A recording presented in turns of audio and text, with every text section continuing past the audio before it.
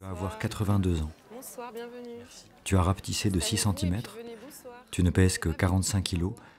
Et tu es toujours belle, gracieuse et désirable. Cela fait 58 ans que nous vivons ensemble et je t'aime plus que jamais.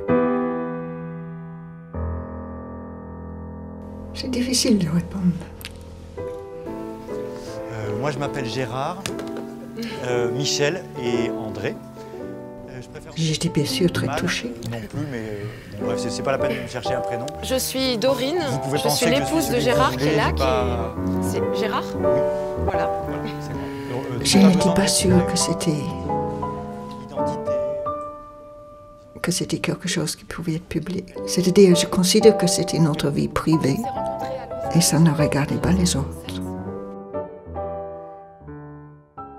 Pourquoi est-ce que ce sont eux qui devraient être témoins de ça? Pourquoi est-ce qu'ils devraient légaliser notre amour? Puis dans le fond, si t'es très honnête, tu te tais est-ce que tu, tu pourrais, te tais. tu pourrais Je ne jurer parle que pas tu de politique, est-ce là, que tu- Là, tu m'écoutes.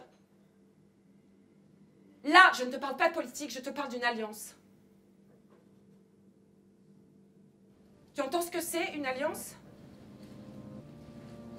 Tu entends ce que je te dis? Je crois personnellement, mais Dee n'est pas nécessairement d'accord, que dans tout ce qui se passe au niveau technologique, économique,